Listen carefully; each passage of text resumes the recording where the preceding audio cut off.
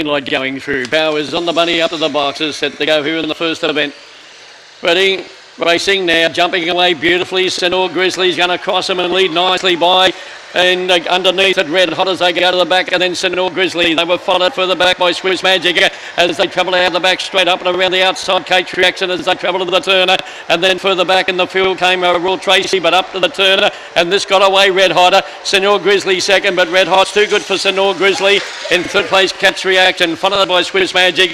The next winner was Royal Tracy, you know, Danger Hurricane may be, and last of all was Black That Bonus. Well, the black was just about across at that first turn, but somehow or other the pink got underneath it and it got to the lead. And uh, number eight, Red Hot, is the winner by Magic Sprite, Mrs. Cannavaro. Owned and trained at Collaroy by Antonio Chiarelli. It defeated number seven, Senor Grizzly, by your Grand Senor Charlie Tudor for Troy Donaldson.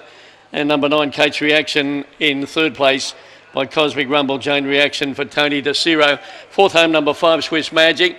They run home in 12.39, They run at 23.35, and that first section was 10.96, and the numbers 8, 7, 9, and 5. Here we go with the margins, and then we've got the lot. The winner number 8, Red Hot, scored by 2 and 3 quarters. Margin between second and third, one and a half. Eight, seven, nine, and five after the first event from Gosford.